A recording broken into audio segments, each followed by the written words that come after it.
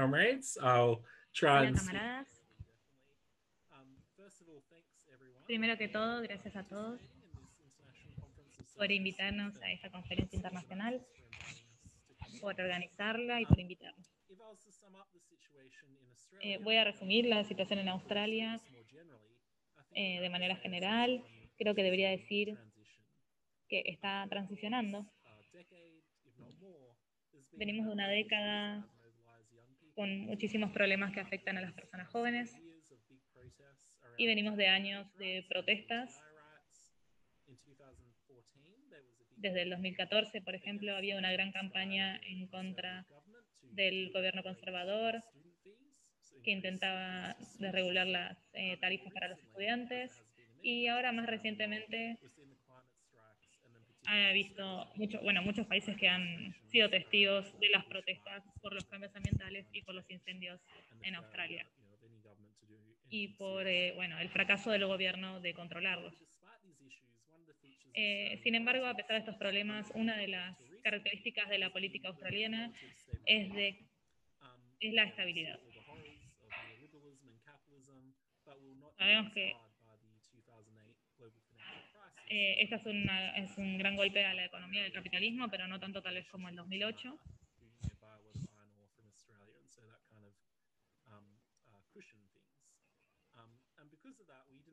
Y por eso no vemos este tipo de colapso económico como en ese momento.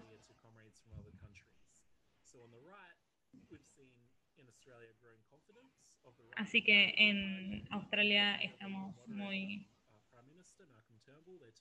Eh, hay mucha confianza en el primer ministro y ha habido algunas eh, protestas, pero no al nivel de las de los incendios. Hemos tenido diferentes movilizaciones por ciertos problemas,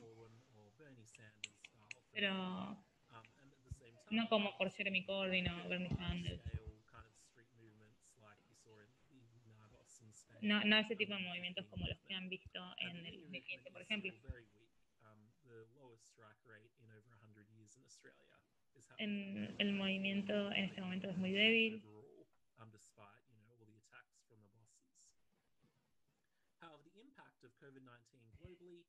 El impacto del coronavirus en Australia está comenzando a cambiar eso. No es tan devastante aquí como es en otros países, y, pero ha tenido un impacto. Se reporta que Australia va a ser uno de los, de los países más con un mayor impacto por esta recesión global y muchas personas perderán sus trabajos. Y estas personas que trabajan en turismo eh, van a ser eh, afectadas, eh, bueno, proporcionalmente, específicamente la gente joven. Y los, jefos, los jefes están pidiendo reformas eh, para precarizar a los trabajadores, para garantizar sus propias ganancias, porque, bueno, han tenido que cerrar. Y todo esto nos afecta eh, hace que tengamos trabajos precarizados o que no los tengamos. Así que la juventud está particularmente más vulnerada frente a la explotación y la precarización.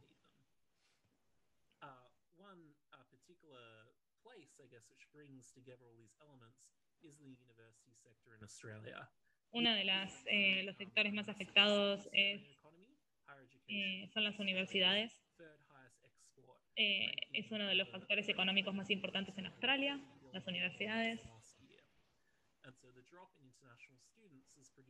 y como ha bajado el número de estudiantes eh, nacionales, eh, han bajado también el nivel de las ganancias y han perdido millones de dólares por esta pandemia.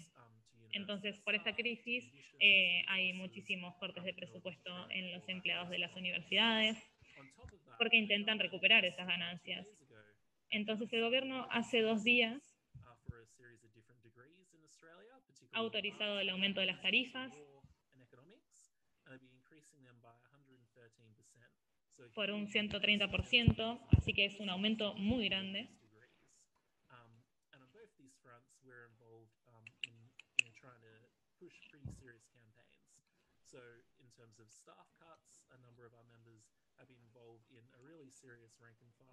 And revolt against the trade union national leadership who tried to sign a deal with the university bosses to accept massive uh, cuts. Um, and el, los políticos están presionando para que se aprueben este tipo de cortes de presupuesto en la educación y la juventud está comenzando a darle pelea a esta situación.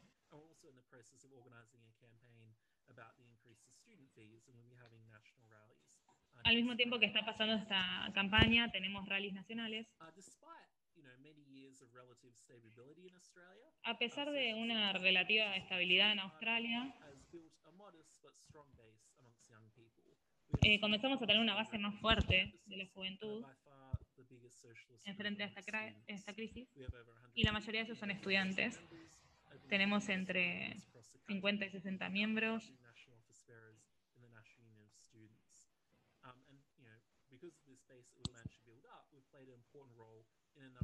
Y bueno, juegan un rol muy importante en varias campañas. Es algo que hemos mencionado antes, eh, como en la campaña por la, esa flexibilización en la educación,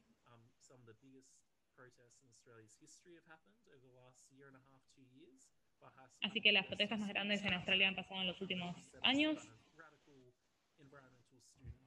Así que tenemos una base estudiantil bastante radicalizada que se ha construido en los últimos años.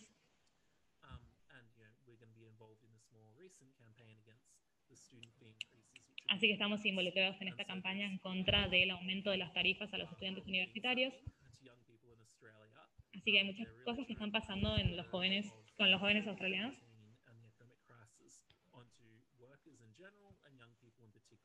Eh, entre los jóvenes y también entre los trabajadores, pero en los jóvenes específicamente.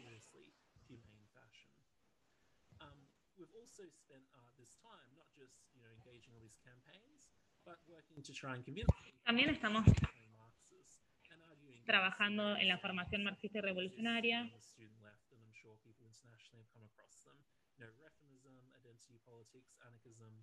Eh, tratando de luchar contra ideologías anarquistas y de política de identidades y darles una perspectiva política del lugar que toma la clase obrera en una situación de cambios y en una situación revolucionaria.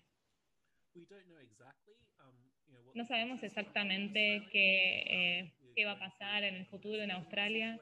Estamos en una situación que no tiene precedentes en estas últimas décadas.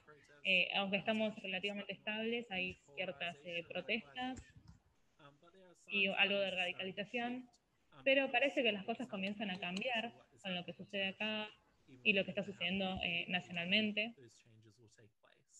Ya sea profundo o rápido, este cambio va a pasar.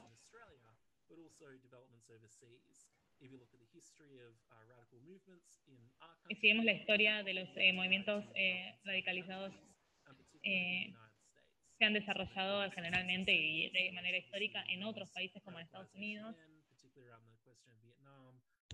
Eh, por ejemplo, con la cuestión de Vietnam, con las cuestiones de racismo, eh, y los sectores impactados son la juventud y los trabajadores, similar a lo que pasó con los nazis, los movimientos anti-globalización, que comenzaron en Seattle y, se, y llegaron hasta Europa y después impactaron en Australia. Por ejemplo, sobre el movimiento Black Lives Matter.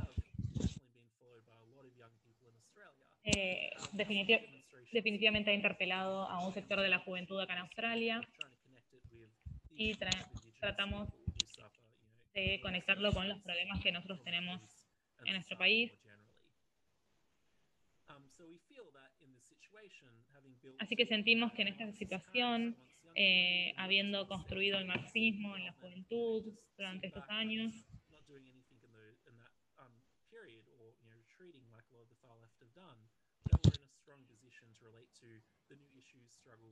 estamos en una posición donde podemos eh, comprender las luchas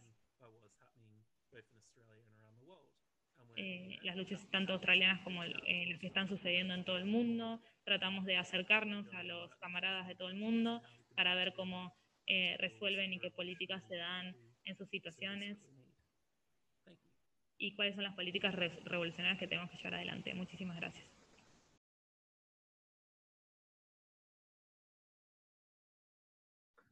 Hi, comrades. I'll keep it short. Um, yeah, really excellent conference, and people have raised a lot of different issues. Camaradas, realmente ha sido una conferencia súper exitosa y ha sido muy interesante escuchar las realidades y situaciones diversas de los distintos países que han participado hoy. Así que quiero hacer un resumen con algunas ideas generales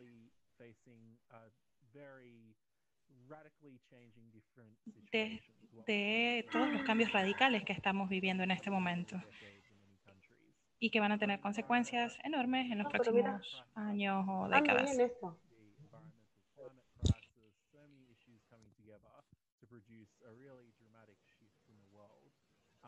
Eh, los cambios que estamos viendo seguramente van a producir un cambio bastante dramático en la situación global.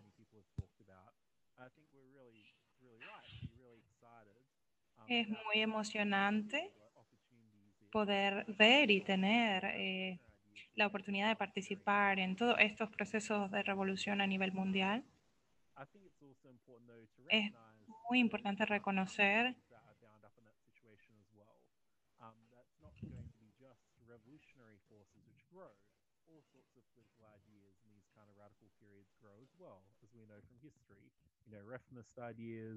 y así crecen las ideas revolucionarias tales como nos lo enseña la historia en este tipo de situaciones.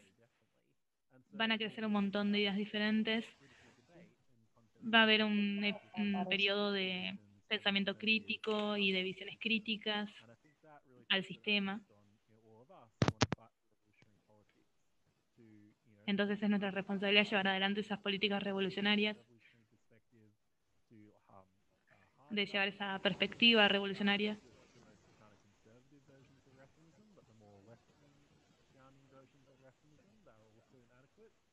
También emergen eh, los reformismos, incluso los de izquierda.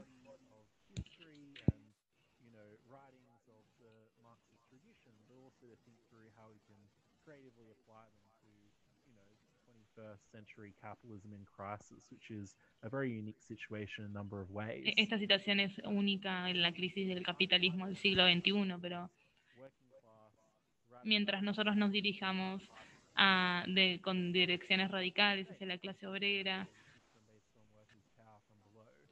y les expliquemos cómo el sistema se basa en nuestra fuerza laboral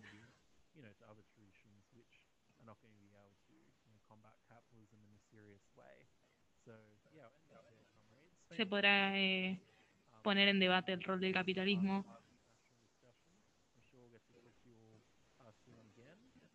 Espero que podamos hablar pronto juntos y podamos construir unas direcciones internacionalistas y socialistas en nuestros países. Gracias.